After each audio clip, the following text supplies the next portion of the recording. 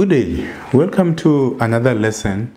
Today we discussing a skills plan development or skills development plan, depending on how you want to call it. And the course is about developing the necessary skills for you to be able to deliver on your mandate or on your strategic objective.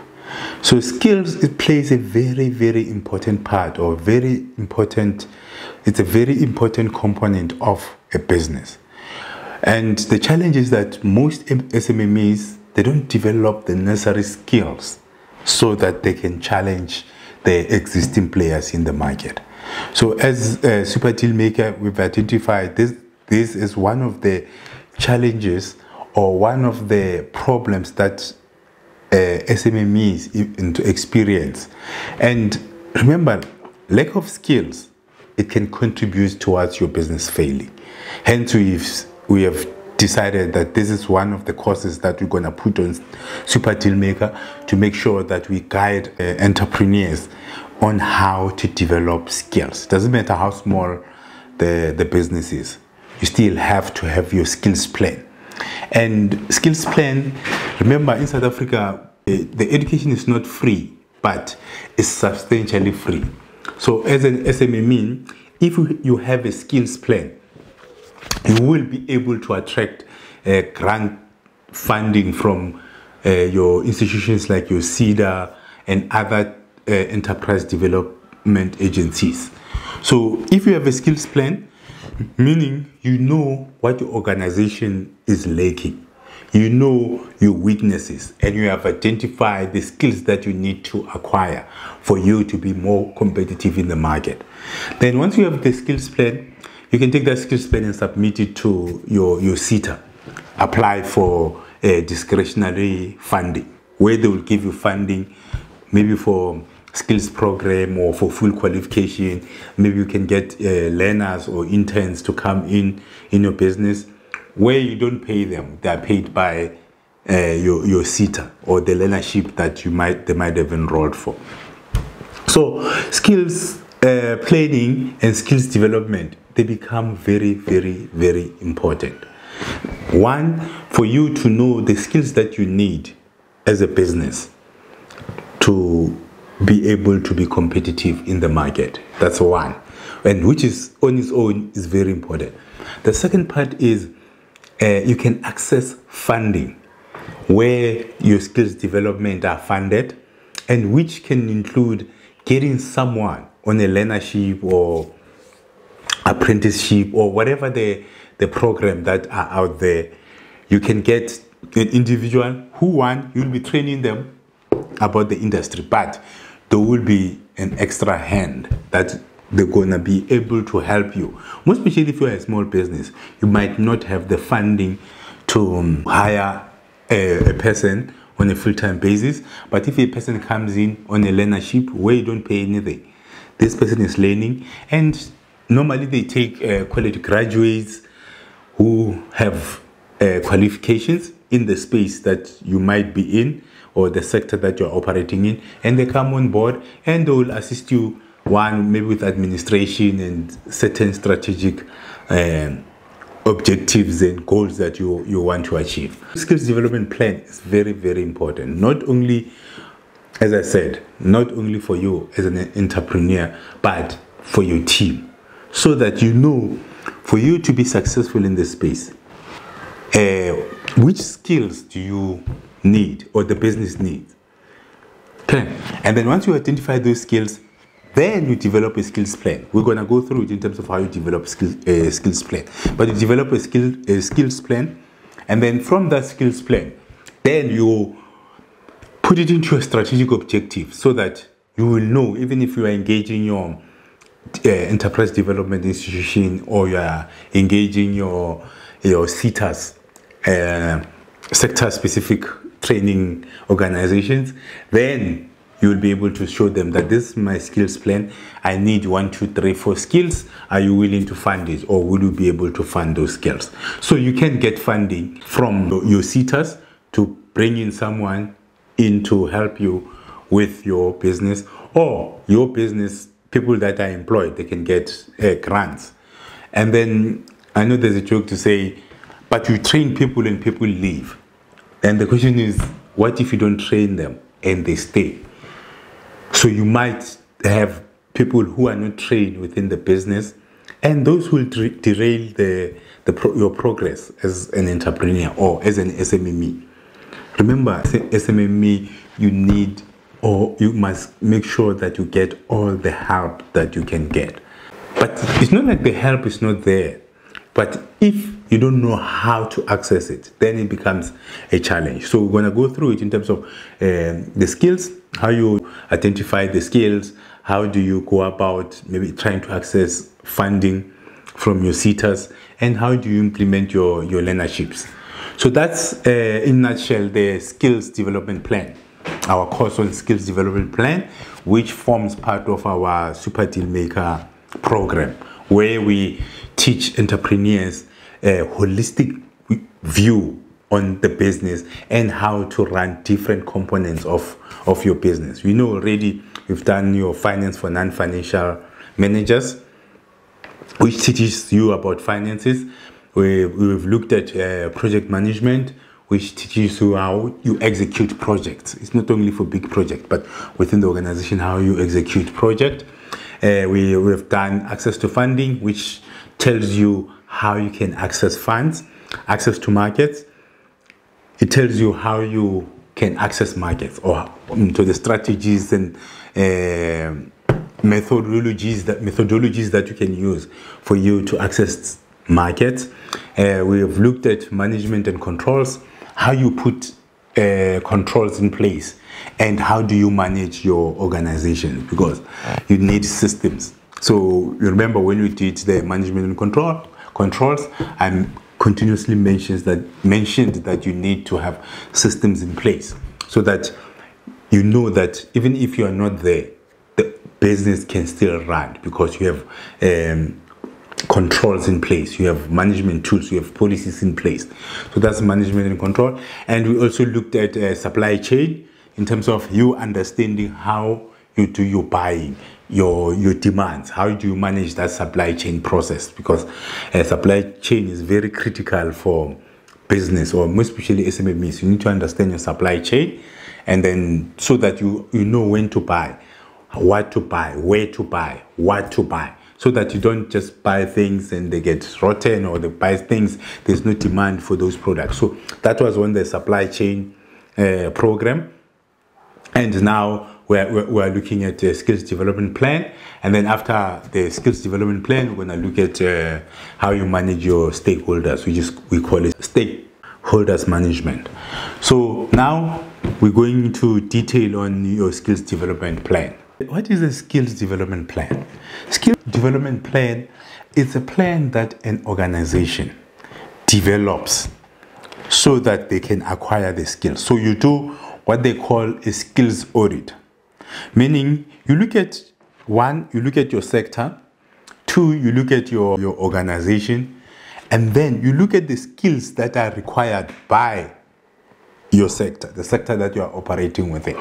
And then you look at the skills that you have within the organization. So if you're a one man show, obviously you look at yourself in terms of the skills that you have and you look at the skills that are required for you to be competitive in the market. And then what you do is you, you match the skills that you have with the ones that you have. So the, uh, the residual skills, the skills that are not matched, are the skills that you need to put in your skills development plan. It's that simple. And then on Super Deal Maker, we have developed a skills development uh, tool where you can simply put in, depending on your uh, sector and your current skills. You put the, the, sector skills, you put your skills, and then it will generate uh, the skills that are, are missing or the skills that you, you are lacking on. And then from there, then you're going to have the skills development plan. And from the platform, we'll be able to look at the opportunities for those skills. And if we find those skills, then we'll be able to refer you or get in contact with you to indicate that you there is an opportunity for you to attend a certain skills program, provided that you have identified it and is recorded in our Super Dealmaker app. But this skills development plan is not only for you to uh, complete it for Super deal maker, but it is for your business because you need to know the skills that are required in your sector and do an honest analysis of the skills that you have and the skills that are required and identify those gaps. And then at Super Dealmaker, we'll be able to help you to access uh, the specific skills that you're looking for. And once you've done that, then you're going to have the skills plan. And that skills plan, you not only be using it for Super Dealmaker, but you can use that skills plan to submit to your SETAs because each uh, industry it belongs to a certain SETA. Oh, but I know now uh, they're moving everything to QCTO. But still, they'll have different departments. Let's say you are in fast food, then you, you currently you're supposed to be on CATHSETA. If you are uh, on selling food or producing food and beverages, then there's a food bev. If you are in training like us, providing services, there's services SETA. If you're in computers, there's MICT SETA. So those are the different SETAs, meaning those are the government institutions that are looking for skills in different sectors, depending on which sector you're operating. You just have to con uh, contact uh, the relevant uh, SETA. So once you did, you, you, have done your skills audit and skills plan, then you can approach the SETAs when they have the window open, they call it uh, discretionary grants, meaning you need to identify the skills that you need. You apply to say, I need one, two, three, four skills. So it might be, you might be needing a full qualification or uh, requiring a short course. We call it skills program. They, or they call it skills program. So you might be requiring maybe short course to um, sharpen up certain skills. It might be finance or maybe uh, management or administration, depending on your weaknesses. And once you develop that skills plan, then when that window of discretionary funding opens, you you gonna you will be having a skills plan that you can submit to to whichever SETA that you you belong to or uh, the the SETA for your sector. And once you submit, if it gets approved, then the budget is allocated. And depending on the type of training that you need, then they can they'll give you a service provider that will facilitate that skill that you, you might be looking for or the one that you are lacking. So that's how your the, the skills plan works. So but the important thing is for you to identify the skills needs for your business. What which skills or what type of trade is, is required for you to be successful in the sector that you're operating in. So once you have identified those skills, as I said, you identify the skills that are required, you identify the skills that you have. If you are one man show, it will be your own skills. But if you are a team, you do the audit, you audit the whole team to see the skills that you have and the skills that are required for you to be competitive. And there will be the, the difference in terms of the residual skills that you don't have the competency internally. And those are the skills that you apply for discretionary funding or you approach institutions like your, your SEDA for training and other private institutions like large corporates, they have enterprise development uh, schemes that they can train you on the skills that you, you are lacking, depending on the sector. Maybe it might be requiring uh, SABS. I know SEDA uh, regularly to organize such trainings. You might be requiring maybe food safety and all that. So if you approach different institutions for to say I'm looking for these skills, then when the opportunity comes, they will be able to train you on, on the skills that you are you are missing. So if you don't do your skills plan, they wouldn't know what entrepreneurs are looking for. And even if they know the entrepreneur, but they wouldn't know about you that you lack the skills. So that's why most of the time SMMEs, especially in underdeveloped area, they are struggling to access skills grants that are available. Remember, SETAs are not, okay, most of the time, they're not spending all the money that they have because they can't find uh, SMMEs to train. Or not only SMMEs, but host employers meaning host employer it's a it's an SMME that is willing to host a learner. So, because you haven't done your skills plan, the industry doesn't know that you are looking, you are willing to host a learner. Meaning, you are willing to take in a learner which is paid or trained by service provider that is contracted to SETA. You don't pay that learner. That learner comes, and then all you have to do, your responsibility is to give them the practical experience. But remember, oh yes, you'll be contributing to towards uh, skills development for our country, which is a good cause. But I know that you are an entrepreneur and you are not in business to uh, for charity. Maybe if you are running charity, then that's great. But most entrepreneurs that we're talking to are the ones that are in business to to make money. So while you'll be making maybe contributing to the to the country in terms of skills development and giving uh, young people an opportunity to get uh, working experience. In return, remember you're not paying them. In return, you are getting extra hands in your business. You are getting educated trainees in your business. For sure, they will make a contribution. They will be able to assist you improve your business. They will be able to assist you do things that you wouldn't have been able to do without those extra hands. So it's a, what they call a win-win situation. It's a win for the country because uh, young people are getting work experience. It's a win for uh, the SMME sector. You are getting um, what do you call it? You are getting employees for free. Call it for free and then you, while you, you, you're contributing back by, by training them. Now, most SMMEs don't have access to this. And it's not a necessarily a rocket, sci rocket science. Maybe it's just issue of access to, to information. That's why we developed this, this, this training program to make SMMEs aware that there is an opportunity in the skill space. And this will make them not only that, but it will make you competitive because the more you bring uh, learners into your business with different views, with different energies, that will automatically improve your your business. Okay, not automatically, but eventually it will improve your business. Sometimes we get bad students or learners. Sometimes we'll get the good ones, and some you might probably keep because it's like you you'll be because the learnerships they run for about 12 months. So you will be having someone in there you'll be able to see their personalities and all that. At the end of the learnership you might decide to keep them if they they you see that they're bringing added value. So that's on the identification now. On when you're conducting your skills needs you need to be understand your sector. You need to understand what are your competitors doing? What skills do they have?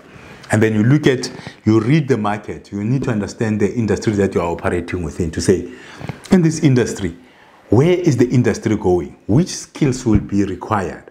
And you document those skills and you work towards obtaining those skills. But once you have done that, and as I said, that you have enterprise development institutions that can help you, you have the SETAs that can help you. Not only that, even for, for yourself, you might make a plan because there's a lot of uh, online courses out there on specific skills. So once you know which skills are missing, you go into Google, you look at uh, uh, different online courses. Most of them are, are free. They will be free. You have free access to to material, free access to uh, the lectures, but you wouldn't have access to assessments. But if you are running a business, I don't think I don't think you're concerned about having the certificate necessarily. Certificate is for those who are looking for jobs. You are looking to acquire the skill. Even if you don't get the certificate, you don't uh, uh, register for the paid courses. You only do the free ones. You are you're supposed to be looking for technical skills or even the soft skills, but you are looking for the skills not the certificate, so that those skills are the ones that will be able to help you propel your business forward. So, skills development is a very, very critical uh, component of your business. And I know from the experience, many entrepreneurs are ignoring skills development. It's not part of their, their agenda.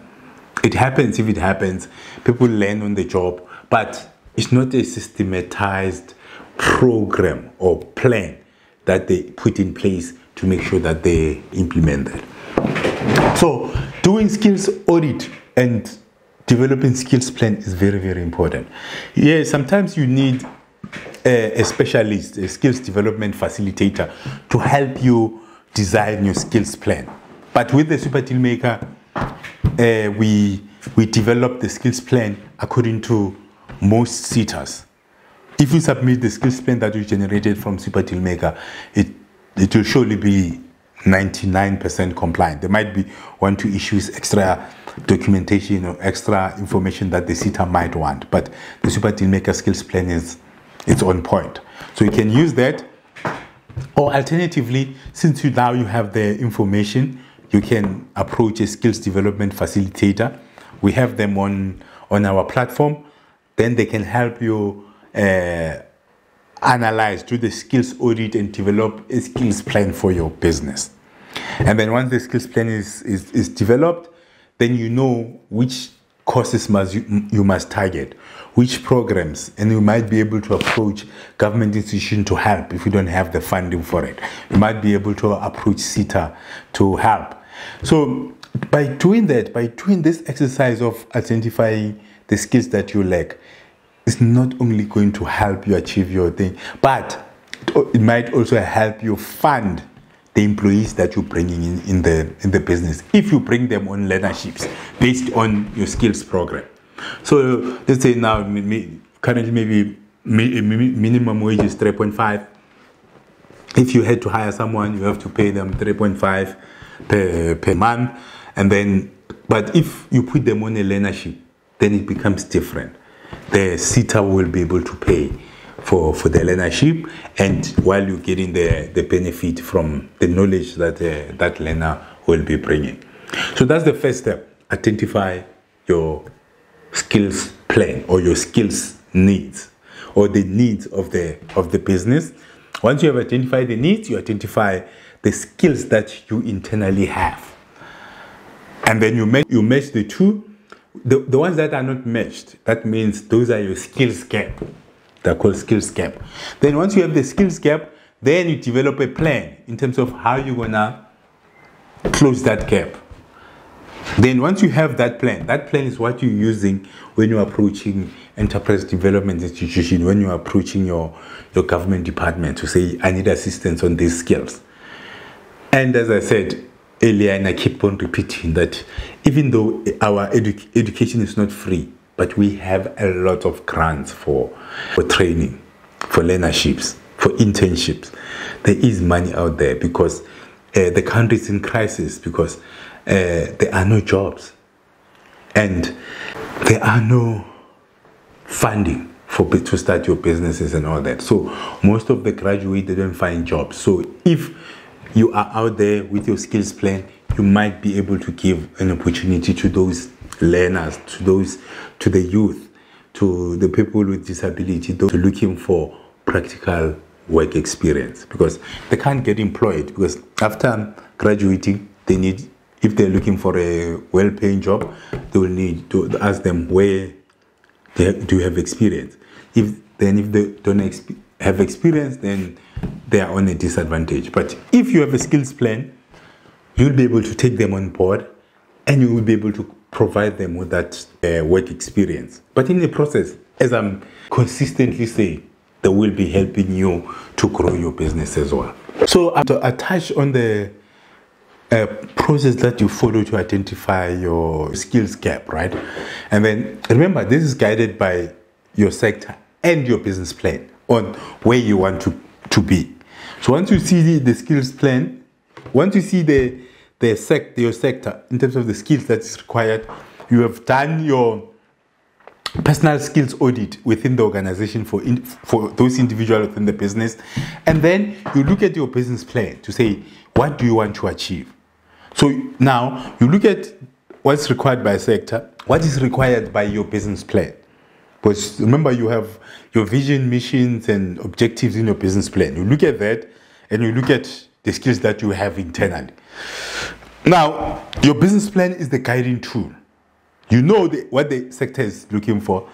You know what skills do you have? Because as we discussed previously, you've done the skills audit.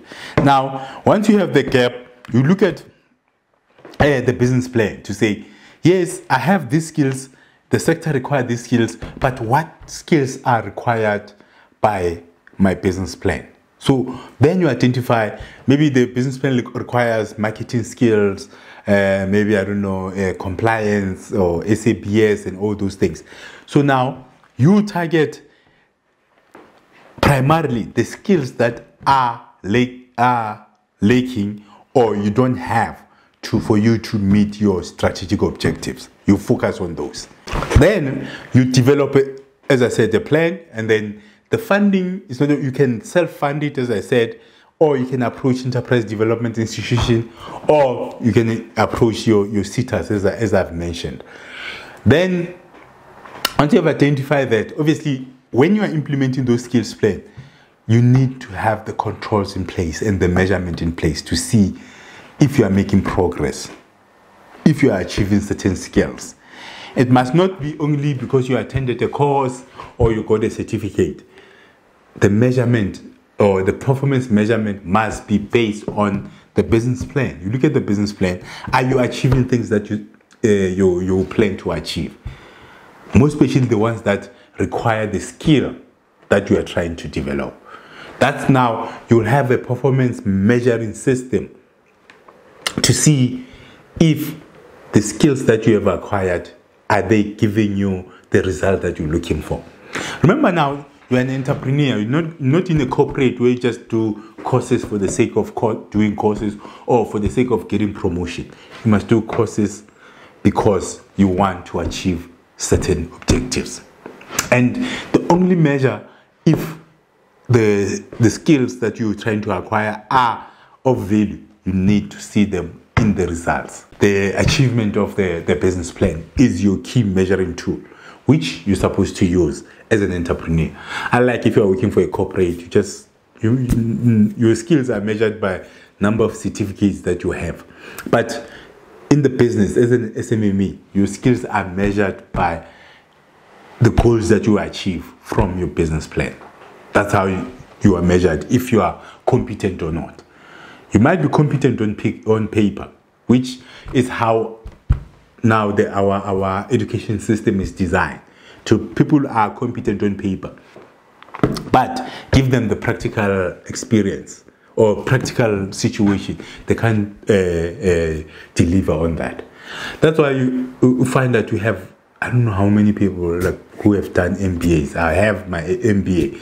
You know, like the intake is high for for MBA, but they're not doing MBAs to mm, to master the management of the business because remember MBA is it's master of business management. So business administration, I mean.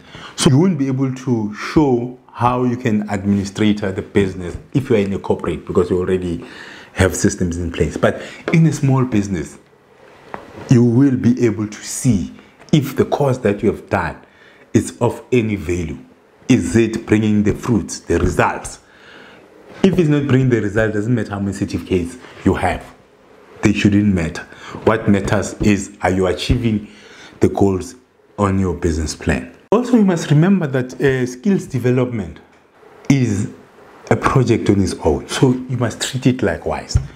You must be able to manage that project. It should be a project with the goals that you want to achieve from it. You must implement the proper um, project management skills. We have, we have done project management. If you haven't uh, gone through that lesson, watch the video and read the material from the website on, on project management is there. So even the skills program on its own the skills development program it becomes a project within the organization so what happens is in large organizations right where the payroll is above 500000 per annum you need to have a training committee but with SMMEs, you don't expect to, to have a train, call it a training committee. A training committee is a it's a committee where they appoint where the skills development facilitators and uh, management meet to develop the skills plan of the organization. So you wouldn't have that if you are an SMME and then if you have employees less than earning your, your payroll is less than 500 and I think if you have employees less than 50 as well. But okay, that is a subject for correction in terms of the number of employees. I will, I will double check on that. But what, what you need to do, what the, the skills uh, uh, committee does, or training committee, it, it's a committee, it runs on a program, call it, or a project. They appoint the person who's going to lead, who's going to chair the committee. They appoint the team members. They, they set milestone, the targets. They set a plan of action. So they will have a skills plan in terms of how they're going to execute it. So it will be a project in bigger organization. But as an SMME, you might be alone. You, it might be the two of you. But when you're doing it, do it as a project as well. Make sure that you plan, you identify people that are are required. You know what activities need to be executed. You are monitoring the activities. You identify the risks, and you make sure that the every year your annual skills plan is closed and any learnings from it if certain things are not achieved then they get carried to the next year so you must treat your skills development um, initiative as a project and as I said, that is important because we have project management, but we don't we, know, we don't have it in isolation. Each and every activity that's happening within the organization, each strategic objective, you must treat it as a project. It must have a planning, it must have a team, you must do risk analysis, you must have outputs that you expect, you must measure those outputs, you must monitor the, the, the implementation of that project and make sure that you close their project each year. So your skills plan is not skills plan for five years. Yes, you can have a long-term skills plan, but you must break it down into your annual goals. Where you, you know in the first year, I want to achieve uh, this. In the next year, I want to achieve this. In the other year, I want to achieve this. So you need to make sure that your skills a plan, you manage it as a project to make sure that it's properly implemented. Now, we're going into the supply chain of the skills program or skills, skills development plan. You need to know, understand your supply chain. Remember, supply chain, uh, you're dealing with the demand. You're looking at the demand of your sector. You're looking at the demand from yourself and the demand from your business plan. What skills are required? That's what, what skills are demanded for you to be successful. That's the first component when you're looking at it from the supply chain perspective. What skills are demanded by your business plan, by the industry, by you to be able to manage this business efficiently? Once you identify that, then you need to uh, procure or acquire the skills. Who are you going to acquire the skills from? I said earlier that you can approach the SETAs. After you've done your skills plan, you can approach the SETA for funding. You can approach the enterprise development institution for them to assist you with the funding you can uh, you can bootstrap it yourself. You can fund it from the business coffers or your personal coffers if you don't generate much revenue yet.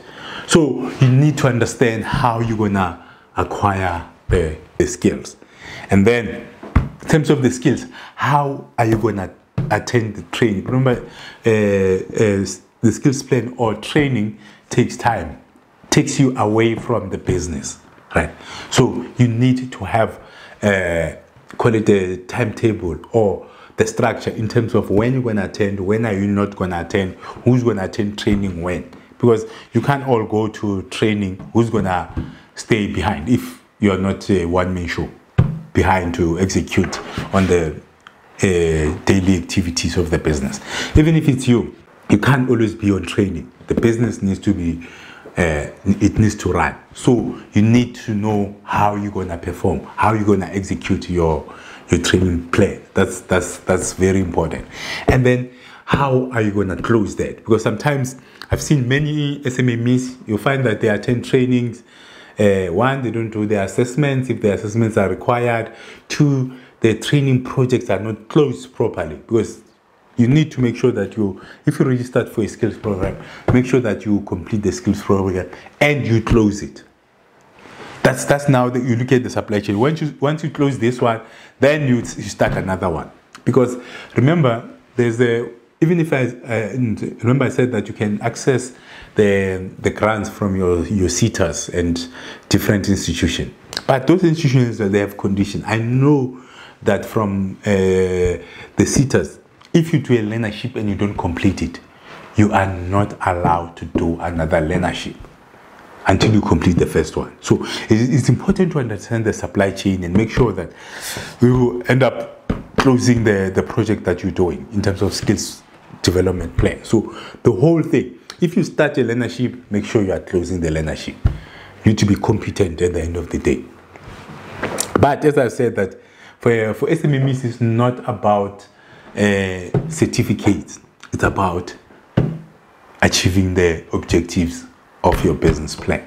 So the best way, yes, you need to formally close it so that you can access uh, further support or you can access uh, other learnerships or other skills program because if you don't close them even the SETAs they can't give you uh, access to further funding in terms of access to to the grants because you do skills programs or you do the skills plan but you don't complete it or you don't fully execute it so you need to make sure that you fully execute your skills plan and each and every year you need to develop a new skills plan with milestone and when they will be closed. So, but you need to understand how the whole process work. The, I'm saying the supply chain. You need to know that one, the demand, your sector, your business plan, that the ones that will guide you in terms of the skills that are required.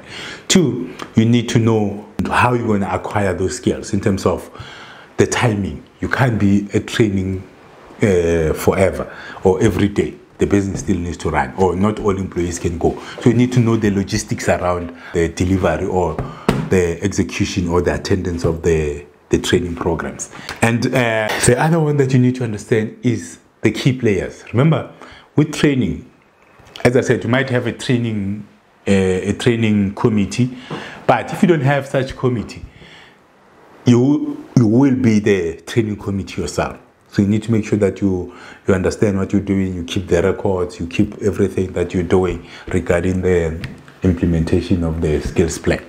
And in the skills plan, there are three key players, maybe four. The first key player is a facilitator. A facilitator is the person or the institution that's facilitating that program or the training or the skills plan, depending. You might hire a training institution like RMK. RMK will do skills facilitation and you don't necessarily pay us. If it's a skills program approved by SETA, then the SETA will pay for us to facilitate that program. So that's the facilitator one. Two, after facilitation, obviously the but that's the facilitator, but the most important one is the learner. Who is the learner? How is the learner in terms of financially will they be able to complete the program and all that because they say the SETA programs are about the learner making sure that even if that, that learner is you but it's to make sure that at the end of the program one you've learned the practical application of what the course the course that you have you had taken two you get the certificate that you're supposed to get and Three, the program is closed and you can use that certificate to enhance your career or your business or whatever the objectives that you had when you, you, you took on the course. So it's a learner, it's a facilitator. Once the facilitator has facilitated the skills program or the qualification or whatever, then there is the assessor comes to assess if the learner is competent or not. Then after the, the assessor assessed, might find you competent or not yet competent, if you are not yet competent, obviously the learner can still appeal and there, there are processes that you can follow to do the appeals and all that. So you get assessed and then once you are competent, then the results get moderated, meaning the moderator will check if the learner did what they're supposed to do. They were assessed according to the standards of that qualification of that unit standard or that skills program. And were they consistent? Did the learner provide sufficient evidence and all that? And was the assessor fair on assessment? That's called moderation. So that's now the fourth person. Because we, we have the learner, we have the facilitator, we have the you as an institution, because they are calling you a host employer because you are employing the learner to give them practical experience. So you play a critical role because you need to give them a safe environment for them to be able to learn. It must be conducive and all that. So the third is the institution, your institution, that you you will be giving the learner the practical experience. Four then is the assessor, as I said, that he assesses, and then five you have the moderator. The moderator will, the one that is moderating, and once it's all that done, then the, the results are submitted to if it's, a, it's an accredited course, then the results are submitted to the SETA. The SETA verifies the result and they issue the, the certificate. Or now in this case, it will be the result will be sent to QCTO. That's now the mechanics on how the the skills program is delivered. So then after that, then you you'll tick if this identified skills gap has been has been filled or if the gap has been closed not filled, closed. Okay, you can feel it, I guess. But is the gap closed? And then the different gaps, and then if there are still certain gaps, then you you move them to the next skills program. Or if this skills program is properly closed and you achieved the things that you wanted to achieve, then you move to to the next skills program for the following year. As I said, your skills program must be rolling. Each year you must have a, a skills program for that year and make sure that you achieve that. Until you get but okay obviously you won't get to a point where you are no longer implementing programs. But you might start implementing the nice to have programs after you have implemented the pro programs that are critical towards you achieving your business goals. That's the, the skills program in a nutshell. That's how you look at it. First you look at the industry. What skills are required in your industry? You look at yourself. What skills but you must do honest analysis. What skills do you have? And three, you look at your business plan. What does the business plan require in terms of you achieving the, the targets? What skills must you have? If you don't have those skills, then those skills, you put them in your plan, your skills plan and you start executing on those skills plan. One, I told you, to get the funding, you can approach the SETAs, can approach different funding institution, enterprise development, or you can fund it yourself. But lucky enough, we've developed the platform on Super Dealmaker that it makes it easier for you to develop your skills plan and will assist you in terms of finding the necessary uh, sponsors or investors when it comes to skills development. And once you get the funding, then you execute your, your skills plan. And as I said, I, have mentioned the people that are the parties that will have, and there's the learner. You need to give them a workplace. You need to make sure that you have facilitator, assessor, moderator. And ultimately, you need to make sure that the results are moderated by the SETA if it's a, an accredited program. And that is that. That's the, the skills plan, and that's how you implement your, your skills plan. And most importantly, you need to make sure that you manage it accordingly. You have controls in place. You have systems in place on how it needs to be uh, implemented, this skills plan. And I repeat that you must run it like you are running a project. It must be a project that you're running so that it has its closure. And as I mentioned from the beginning, to say that skills development is critical for your business. One is to, to make you competitive. Two, it can give you the necessary skills without you spending much money. And three, it will make you be able to continuously improve as a business. So it is important. It's not something that you, you, you ignore. Make sure that you have your skills plan. If you don't know how, you can log in into Super Dealmaker and do your business plan. From your business plan, you put in your, your profile or your team's profile. And then from that profile, Super Dealmaker will generate the the skills plan for you. And you will be able to implement that skills plan. And believe me, once you have the necessary skills, you are on your way to, to success. Remember, more than 70% of the businesses fail. And one of the main contributing factor is the lack of skills. So make sure that you don't ignore that. Yes, it's a soft issue. It's not like it's the technical issue, it's a soft issue, but make sure that you take care of it because it's very, very important. It's the one that's going to make a difference between your success or failure. And then a skills plan and skills planning and skill development uh, goes together with uh, employee conducts and uh, workplace expected uh, compliance with regulations and all that. So you need to make sure that you have a code of conduct for for your for your employees or for the business even if you don't have employees yet. But make sure that you develop a code of conduct so that you train your employees on that code of conduct so that you know what is expected. And the employees know what is expected of them. And then have a proper disciplinary procedures that are compliant with our our labor law. And make sure that you have a skills plan that is in compliance with our our labor law it's one of those things that you need to make sure that you, you have in place so that it's a, you have a conducive environment for one to develop to attract talent to keep talent to be able to uh, develop talent.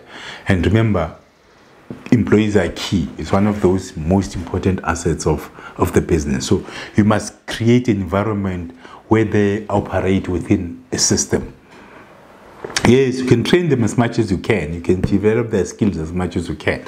But if you don't have the code of conduct, if you don't have the disciplinary procedures, then it, those things might be done in vain because uh, they might not behave the way they're supposed to. Or you might not behave the way you're supposed to, or treat them the way you're supposed to treat them.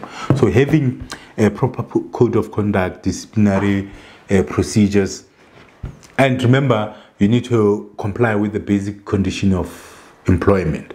And you must put that chart there on the on the wall because it's required by law. In your offices, there must always be that chart, but you must not just put the chart there. You must comply with the with the chart. And then there's also a Employment Equity Act. You must make sure that you comply with the act. There's a BE Act. You don't have to comply with the BE Act, but as a good citizen, as a good corporate, you need to make sure that you comply with the B Act. And then we have the Skills Development Act or legislation. Remember, you need to you need a, to register for for skills development um, levies if your your payroll is above five hundred thousand. You need to contribute every year to the services SETA and development of that. But remember, if, even when you register with the skills development uh, for skills development levies. There is discretionary grant and there is mandatory. So if you run the trainings, then you claim that money back from from SARS or from skills development levy through SARS. So you pay it, but once you run the trainings, then you can claim it back because they design it in that way so that it forces employers to do the trainings so that they develop uh, the skills. Because remember, if no one is forcing you to do the skills development, businesses might not train employees. So if your payroll is above 500,000, you are obligated to to register for skills development plan, skill, skills development levy, and you, you pay that 1% to that skills development levy. But there is a, a portion that you might claim back for the trainings that you, co- you conducted, and you can apply for discretionary grants. So the government takes that skills development levy and it gives it back to the sector to do the necessary trainings. So if you don't do your skills plan and submit your skills plan, you might end up paying the skills development levy but not benefiting from it.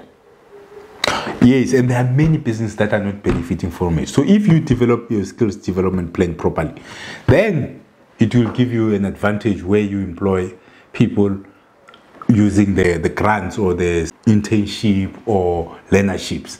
Then you'll be able you'll be using other people's money to run your business. So you need to make sure that you have a skills uh, uh, skills plan in place so that you can take advantage of the opportunities that this space of skills development provide for, for your institution. But you must have a conducive environment for, for you to develop the skills, for you to attract talent, for you to keep talent. And it comes ultimately to compliance with your with our labor law, making sure that you have a proper processes and procedure, more especially code of conduct, the disciplinary processes. But even when the new employees come in, make sure that they are properly um, orientated in terms of uh, do orientation for them Should they understand the labor law, the requirements, technical requirements, uh, compliance with the legislations and all that. So you need to treat your employees according to in compliance with the law. That's very, very important. And that will go a long way. And then to make you be able to keep talented employees. And if because if you don't keep employees, you'll keep on losing that knowledge. That knowledge will keep on leaking. So you'll end up being in the business for a long time because they will, you will not be able to keep people with the experience. And if you're not keeping people with the experience, that means you are required or you'll be expected to do the job. So you'll end up being in the business, not managing your business, but your business managing you. So you'll be in business if you don't have systems in place. And you don't have proper skills development plans so that people can take over from you and you can just be uh, give maybe what do you call it over oversight in terms of the operations but not being operationally involved. But for you to get there you need to be able to develop your skills within organization. You identify the gaps you identify the required skills then you develop the what's what's missing so that you you work on those weaknesses that you might have. And that is your road to success. That is that on skills development. Now our next lesson will be on uh, stakeholder management. Thanks